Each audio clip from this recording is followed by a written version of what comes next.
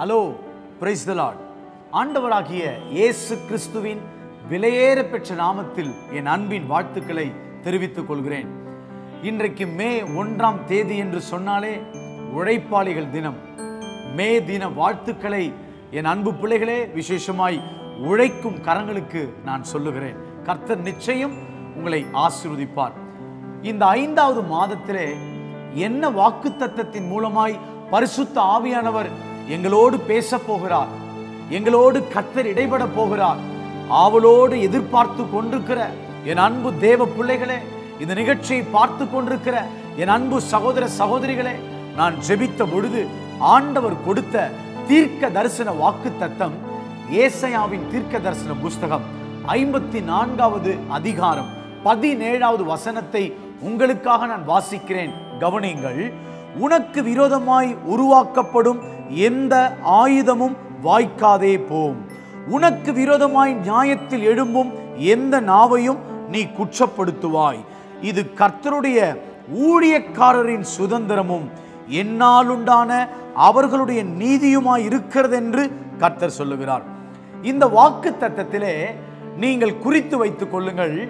உனக்கு விரோதமாய் உருவாக்கப்படும் எந்த ஆயுதமும் வாய்க்காதே போம் ஹாலலூயா இன்றைக்கு எல்லா இடத்திலும் மனுஷனுக்கு மனுஷன் விரோதமாய் எழும்பிக் கொண்டிருக்கிறான்.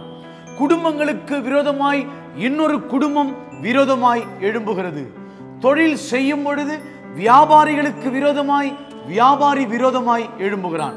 இப்படி அடுக்கி கொண்டே போகலாம்.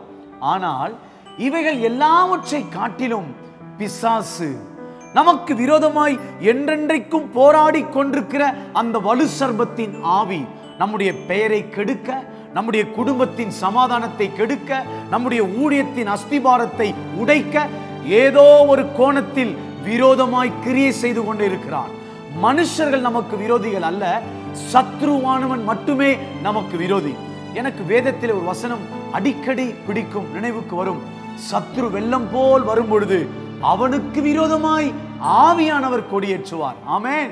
தேவ பிள்ளையே இந்த மனுஷன் எனக்கு விரோதமாய் எழும்பி விட்டான் இந்த நபர்கள் எனக்கு விரோதமாய் எழும்பி விட்டார்கள் இந்த ஒரு குறிப்பிட்ட மனுஷன் எனக்கு விரோதமாய் எழும்பி விட்டான் கவலைப்படாதே. கர்த்தர் சத்ருவே வெள்ளம் போல் வரும்பொழுது அவனுக்கு விரோதமாய் ஆவியானவர் கொடியேற்றுவார்.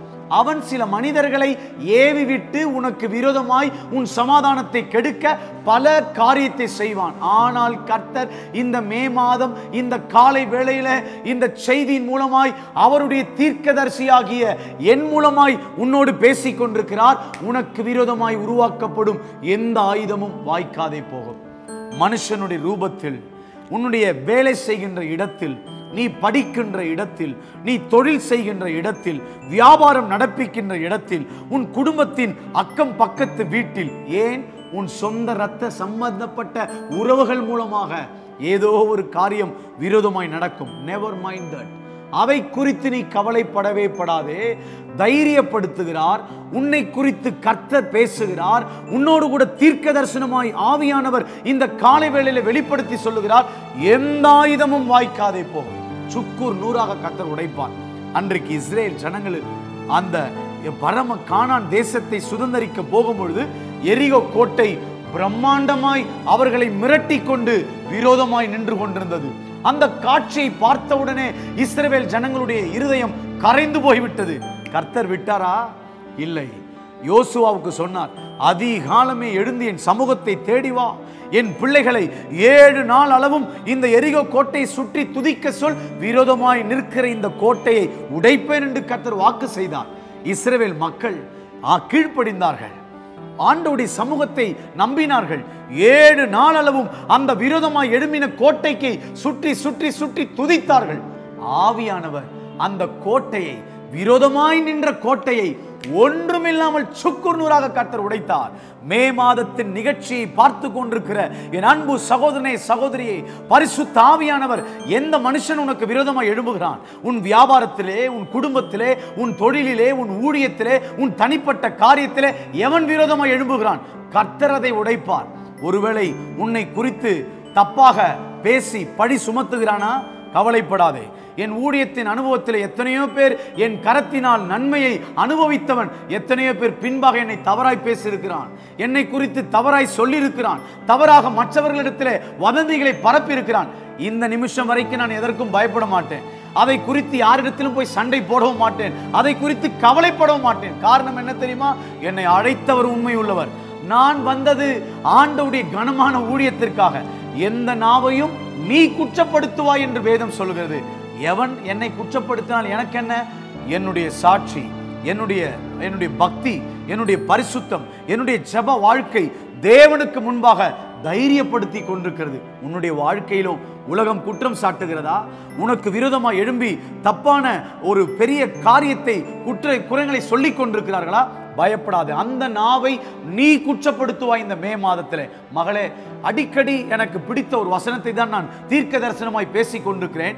அப்போஸ்தலர் நடபடிகள் பதினெட்டாவது அதிகாரம். பத்தாவது வசனத்தை நான் வாசிக்கிறேன். என்னோடு கூட சேர்ந்து அந்த வசனத்தை வாசிங்கள். நான் உன்னுடனே கூட இருக்கிறேன். உனக்கு தீங்கு செய்யும்படி ஒருவனும் உன்மேல் கை போடுவதில்லை. இந்த பட்டணத்தில் எனக்கு அநேக ஜனங்கள் உண்டு. ஹலலூயா பவுலை பார்த்து கத்தர் சொல்லுகிறார் உனக்கு விரோதமாய் ஒருவனும் இந்த பட்டணத்தில் தீங்கு செய்ய முடியாது.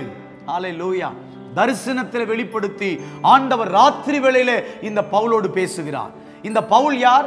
சபைகளை துன்புறுத்தியவன் ஆண்டவருக்கு விரோதமாய் நடந்தவன் ஆண்டவருடைய சபைகளை கெடுத்தவன். ஆனால் ஒரு நாள் கத்தர் அவனை ரட்சித்தார். அப்போஸ்தலர் ஒன்பதாவது நடபடிகளை நீங்கள் படிக்கும் பொழுது ஆண்டவர் அவனுக்கு தரிசனமானார். அவனை சந்தித்தார். அவனை ஊழியக்காரனாய் மாற்றினார். சவுலாய் இருந்தவனை பவுலாய் மாற்றினார். ஆனால் என்றைக்கு அவன் பவுலாய் மாற்றப்பட்டு ஆண்டவுடைய ஊழியத்தை செய்ய துவங்கினானோ அன்னையிலிருந்து அவனுக்கு பிரச்சனை. எல்லாரையும் மிரட்டி கொண்டிருந்த அவனுடைய வாழ்க்கையில கடவுளுக்கு பின்பாக வந்தவுடனே அவனை பலரும் மிரட்டுகிறார்கள். பழி போடுகிறார்கள். கைது செய்கிறார்கள். ஊழியம் செய்யக்கூடாது என்று மிரட்டுகிறார்கள். என்னைக்குமே அப்படிதான் உலகம். ஒரு ரவுடியாக இருப்பான். அவன் ஆண்டவர் ஏற்றுக்கொண்ட பிறகு அவன் ஆண்டுடைய பிள்ளையாக மாறின பிறகு அவனை மிரட்டுவார்கள். இது உலகம். ஆனால் நான் மாம்சத்தில் போய் மறுபடியும் முறையிடக்கூடாது. நீங்கள் ரட்சிக்கப்பட்டிருப்பீர்கள். ஆண்டவருக்கு உண்மையாக எல்லா பாவத்தை விட்டு ரவுடித்தனங்களை விட்டு அநியாயத்தை விட்டு அக்கிரமத்தை விட்டு ஆண்டவருக்கு உண்மையாக வந்திருப்பீர்கள்.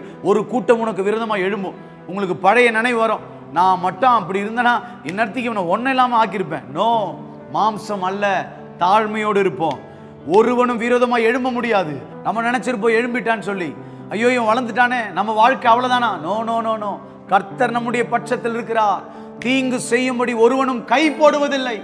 ஒருவனால நம்மளை தொட முடியாது. பைபிள் சொல்லுகிறது உன்னை தொடுகிறவன் என் கண்மணியை தொடுகிறான். மகளே மகனே உனக்கு விரோதமாக தேவையில்லாத நீதிமன்றத்திலே வழக்கை தொடுத்து உன் சொத்தை அபகரிக்க நினைத்தார்களா? அல்லது வேலையில விரோதமாக எழும்பி ஏதோ ஒரு காரியத்தை செய்து விட்டார்களா? பயப்படாதே. விரோதமாய் எழும்ப முடியாது. கர்த்தருடைய தீர்க்க தரிசனம் சொல்லுகிறது. ஒருவேளை சரீரத்திலே பலவீனங்கள் விரோதமாக எழும்பி அடிக்கடி அடிக்கடி நீ படுத்த படுக்கையாய் கிடக்கிறாயா இன்று கர்த்தர் சொல்லுகிறார். அந்த வியாதி உனக்கு விரோதமாய் எழும்ப முடியாது. மறுபடியும் நான் சொல்லுகிறேன் மனுஷனுடைய கூட்டம் உனக்கு பின்பாக ஆலோசனை செய்து உன்னை கெடுக்க நினைத்து கொண்டிருக்கிறதா? நான் சொல்லுகிறேன் அவருடைய தீர்க்கதரிசி அபிஷேகம் பண்ணப்பட்டு சொல்லுகிறேன் விரோதமாய் ஒருவனால எழும்ப முடியாது. அன்றைக்கு யோசுவாவை பார்த்து என்ன சொன்னார்? நீ உயிரோடு இருக்கும் நாளெல்லாம் ஒருவனும் உனக்கு முன்பாக எதிர்த்து நிற்பதில்லை. நான் மோசையோடு இருந்தது போல உன்னோடு இருப்பேன். நான் உன்னை விட்டு விலகுவதும் இல்லை. உன்னை கைவிடுவதும் இல்லை. மகனே கர்த்தர் கைவிட மாட்டார். அவர் தான் சொல்ல சொன்னார். என் பிள்ளைகளை பார்த்து யூடியூப் மூலமாக சொல்லு. இந்த தொலைக்காட்சி ஊழியத்தின் மூலமாக சொல்லு. நேரடியாக வசனத்தின் மூலமாக சொல்லு. என் பிள்ளைகளுக்கு விரோதமாக எழும்புகிற எந்த காரியமும் வாய்க்காதே போகும். மந்திர கட்டுக்கள் பில்லி சூனியங்கள் மாந்திரிகங்கள் ஏவல்கள் செய்து உன் குடும்பத்துக்கு விரோதமாய் அசுத்த ஆவிகள் அலைக்கழிக்கப்பட்டு கொண்டிருக்கிறதா? இந்த காலை வேளையிலே அந்த சத்துருடைய வல்லமைகளை பரிசுத்த ஆவியானவர் உடைக்கிறார். தீங்கு செய்யும்படி ஒருவனும் கை போடுவதில்லை. தீங்கு செய்யும்படி விரோதமாய் எழும்பும்படி ஒருவனும் கைப்படுவதில்லை காரணம் என்ன? ஒன்றியவன் நான்கு நான்கு உலகத்தில் இருக்கிறவனை காட்டிலும் உங்களுக்குள்ள இருக்கிறவர் பெரியவர். நமக்குள்ள இருக்கிறவர் பெரியவர். நம்முடைய ஆண்டவுடைய அளவு என்ன தெரியுமா? வானம் எனக்கு சிங்காசனம் பூமி எனக்கு பாதப்படி என்று சொன்னார். வானத்தில் தலை இருக்கு பூமியில பாதம் இருக்கு. எவ்வளவு பெரிய கடவுளை we have a big god பெரிய கடவுளை நாம் தெய்வமாக கொண்டிருக்கிறோம். பயப்படாத. யார் இவங்க விரோதமாக வந்துட்டாங்கப்பா? போய் கேஸை போட்டு என்ன நீதிமன்றத்தில் கொண்டு வந்து விட்டுட்டாங்க. பயப்படாதே. ஒரு ஆயுதமும் வாய்க்காது. கர்த்தருடைய வார்த்தை பவுலுக்கு ஆண்டவர் எப்படி துணை நின்று தரிசனத்தில் வெளிப்படுத்தி அற்புதங்களை அடையாளங்களை செய்து அவனை கனப்படுத்தினாரோ அதே போல பரிசுத்த ஆவியானவர் உன்னோடு கூட இருந்து உனக்கு விரோதமாய் எழும்புகிற கூட்டங்களை கர்த்தர் மடங்கடித்து அவர்களை ஒன்றுமில்லாத பொருட்களாய் சுக்குர் நூறாக கர்த்தர் உடைத்து உனக்கு நீதி செய்ய போகிற மாதம் உன்னை விடுவிக்கிற மாதம் உன் கண்ணீரை துடைக்கிற மாதம் உனக்கு உனக்காக எதிராளிகளிடத்தில் நியாயம் தீர்க்கிற மாதம் உன்னுடைய பொய் வழக்குகள் வியாதிகள் பொல்லாப்புகள் கடன்கள் பிரச்சனைகள் உனக்கு விரோதமாக எழும்புகிற மனுஷிக கூட்டங்களை கர்த்தர் நிர்மூலமாக்குகிற மாதம். இந்த மாதத்தில் பெரிய அற்புதத்தை நீ காணப்போகிறாய். You can see the greater things நீ பெரிய காரியங்களை பார்க்க போகிறாய். பெரிய அதிசயத்தை பார்க்க போகிறாய். நிச்சயம் உன்னுடைய வாழ்க்கையில் அற்புதம் நடக்கும். சோர்ந்து போகாதே. மகனே மகளே அந்த ஒரே ஒரு பா பாடல் உனக்காக வரும். நீங்க இல்லை நான் வாழ முடியுமா? சத்துருக்கள் எவ்வளவாக பெருகியதே. இச்சகம் பேசியோரை அடக்கினரே. அந்த பாடல் வரிகளை கேட்டு பாருங்கள். என் அனுபவத்தில் விரோதமாய் ஊழியத்தில் விரோதமாய் எத்தனையோ பேர் எழும்பினார்கள். ஆனால் கர்த்தர் உயர்த்தி கொண்டே இருந்தார். இந்த நிமிஷம் வரைக்கும் கர்த்தர் உயர்த்தி கொண்டே இருக்கிறார். அதே தெய்வம் உனக்கு விரோதமாய் எழும்பின கூட்டத்தை மடங்கடித்து உன்னை உயர்த்த போகிறார். உன்னை ஆசிர்வதிக்கப் போகிறார். உன்னை பலப்படுத்த போகிறார். கண்களை மூடி ஜெபிப்போமா? நல்ல பிதாவே இந்த ஆசிர்வதிக்கப்பட்ட காலை வேளையில் இந்த நிகழ்ச்சி பார்த்து கொண்டிருக்கிற ஒவ்வொரு பிள்ளைகள் மீது உடைய பிரசன்னம் இறங்கட்டும். எனக்கு விரோதமாய் ஐயோ சத்துரு போராடுகிறான்.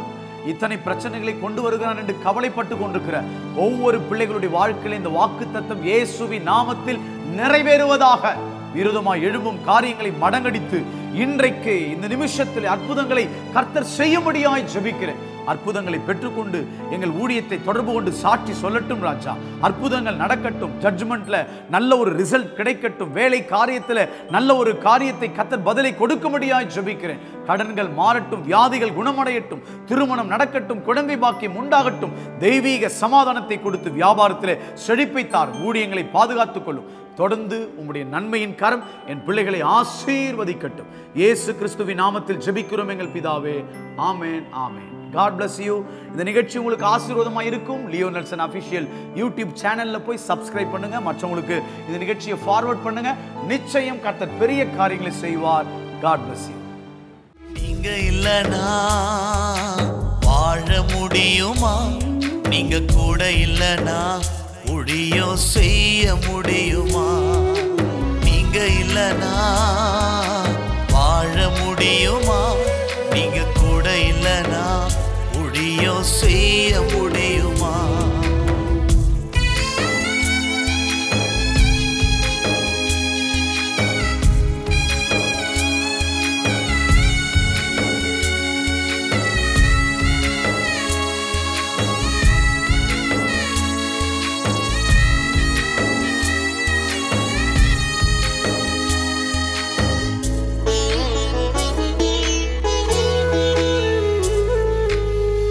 சத்துருக்கள் எவ்வளவாக பெருகியதே. இச்சகம் பேசியோரை அடக்கினீரே. சத்துருக்கள் எவ்வளவாக பெருகியதே. இச்சகம் பேசியோரை அடக்கினீரே.